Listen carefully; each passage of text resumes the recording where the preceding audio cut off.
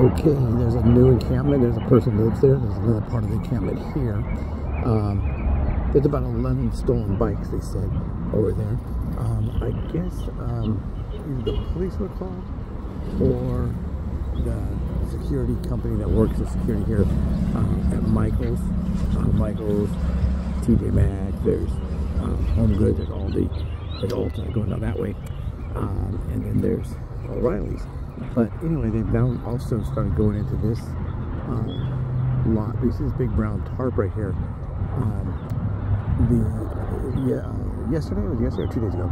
Uh, you see them there's a stolen bike sticking out there, and they also are using this bunch of stolen bike parts here. But um, yesterday or the day before, a young Asian girl, she's about uh, 12, 13, she was um, walking her dog uh, around the parking lot here and when kind of went around the towards the back there before she got halfway to the back uh, she was approached by a blonde haired woman that's one of the residents there who was smoking something in a metal like aluminum metal uh, pipe I guess what she told them is this the, the all the bike parts they steal uh, that she was approached by them uh, by this lady who was smoking uh, out of a, this metal tube and she was like had a it was a big flame and she kept like bending her head down smoking with the tube. Uh, she said it looked kind of like maybe a metal writing pen without the pen part. So like that about that size or so. And she was smoking something that smelled really bad. And she said to her she said to the young girl hi and then I like your dog or something like that one of them back there has a dog. The ones that I've seen so far, the one right there that you just saw, there's an African-American man, and there's looks like another man, a Hispanic man, uh, and there's two women. One has like a like a like a dyed bright red hair and very very skinny, and then there's the blonde-looking one. She was wearing a yellow sweater when I saw her last time, and she was like folded over, uh, kind of like that fentanyl fold where their bodies just give out and they fold into like like the like an upside down letter V. If you took a letter V and turned it upside down, that's what they look like, you know. Um, and so that lady, I think it was the blonde lady who has this dog. Uh, someone said that she had stolen that dog from Arcadia, California. And they tried to get the dog back, and the police, I guess, are looking into that to see whose dog it is. That's Arcadia. Could have been the sheriff's department, too. They said there's a task force out here that helps people recover their dogs that were stolen by the unhoused. But that's all bad. You steal someone's dog, tragic and bad. Uh, smoking fentanyl or using fentanyl uh, in the back parking lot there, that's bad. They could cause a fire because that, that area is not like mowed, mowed down flat.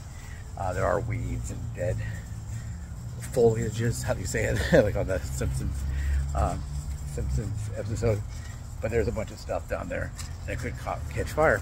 So she asked the girl, do you need some cosmetics or some makeup? One of the two, I can't remember what she said. The, the, I was getting all this information from the uh, employees. But she said, no, I don't need anything. She said, well, come back here, let's, let me show you what we have. And kind of try to reach, reach for her hand, it, it seems. So I think they called the police. What the employee said is they do call the police. The police come out there and talk to them. But there's not much they can do because they're not really violating any law living behind the Michaels. Um, it's, it's, adjacent to the Michaels behind all these shops outside these big tents. But they're really out there trying to abduct a 12 or 13 year old girl. So they, that might be against the law. Also, with all the stealing they're doing, that might be against the law. Also, you know, all the shoplifting they do in the stores here, that might be against the law. Um, so I don't know, is that stuff against the law anymore? Uh, I don't know. But what they said is if anybody has a problem with that, here's where you come in if you like to shop at these shopping centers. Um, everything from, let's see here. From Fitness. Then we got uh, O'Reilly's, Ulta. Then we got Aldi, Home Goods, TJ Maxx, and then on the other side there's Michael's. Um, so if you do any of your shopping at any of those places here in Monrovia. This is Monrovia right here. It's not Duarte. A lot of people think this is Duarte because it's right on the border, but it is not.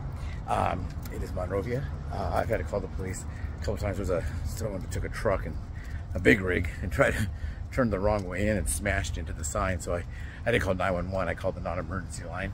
I don't know if the lady who has the daughter, I don't know if she called 911 about this. Did she just call the police? I don't know if the police showed up. I'm sure the police showed up for that if they described everything. They just said, you know, there's some transients living back here. Um, they're not going to do much about that. But what the police said last time when they set up these huge encampments back there, back then it was just them selling stolen bicycles, like Phil and his team. Uh, they steal bikes from Walmart and sell them to people.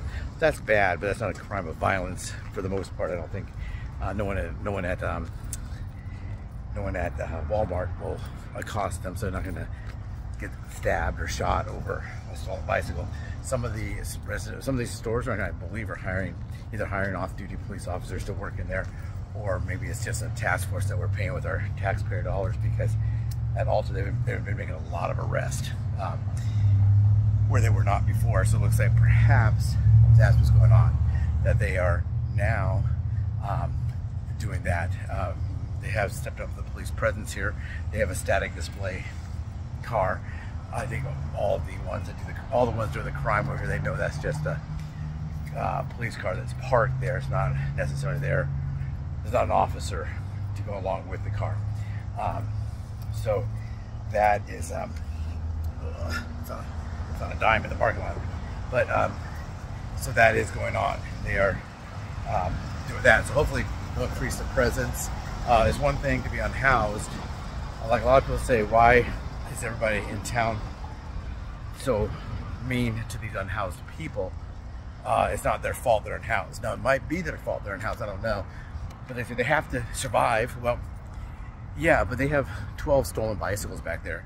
You know, there's three of them. Three uh, permanent residents behind the, in, in, this parking lot here that are three of the unhoused. Now, uh, do they need 12 bicycles? I mean, how many, how many bicycles do you have? I mean, uh, they're all different types of bikes. There's road bikes, like uh, racing bikes. There's bikes that are for, um, you know, mountain bikes. There's, you know, bikes, the, the ones that have no gears on them. I can't they call those. They were really big there for a while. There are different kinds of bikes. So you may have two or three bikes that you paid for. But these are bikes that they go in and they steal. They steal the bicycles. Um, and what I'm saying is maybe they don't have to do that. They don't have to, do they have to pollute? Do they have to uh, if they're homeless and people bring them food, do they have to eat the food and throw all the trash everywhere, or could they use a trash can like the majority of the rest of us do? Some people do throw trash, whether they're housed or unhoused. But what they said was, if you have a problem with this and you don't like them being back there um, using drugs, selling drugs, um, panhandling, shoplifting, um, trying to give cosmetics to a 13 year old girl, stealing dogs, stealing bikes, then you need to call the shopping center and it's their responsibility. So it's not really the police responsibility unless they committed a criminal offense. The, the, things they're doing back here are all civil. Now, if they're stealing, that would be a criminal offense. There are laws against stealing. Now, I guess if I walked into Ulta right now and stole $800 worth of cosmetics and I get caught, um, are they going to ask Ulta, do you want to press charges? Um, I'm sure they would say yes. But when these guys do it, they just let them go because what are you going to do with them, really? Are they not going to show up in court? They're not going to pay any fines or anything. Um, they trespass them, but then they just come back and violate the trespass order. But anyway, have a great day, everyone. Hopefully you're safe. Uh, just a warning out there.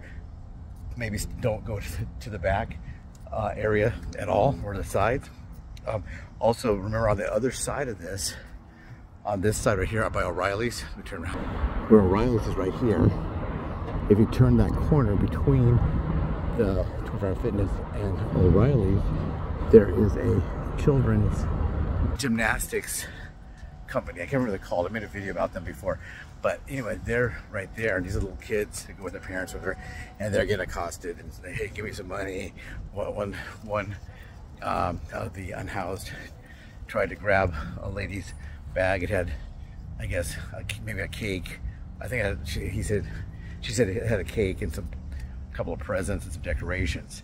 So uh, there's that going on. So um, be careful. A lot of people say that this shopping center is not safe to go to at nighttime. That's a shame because there's some nice stores here. Uh, there's some nice stores here, but they don't uh, want to come here at nighttime because they say it's not safe. I've never really had a problem here. I had the one guy threatened to kill me.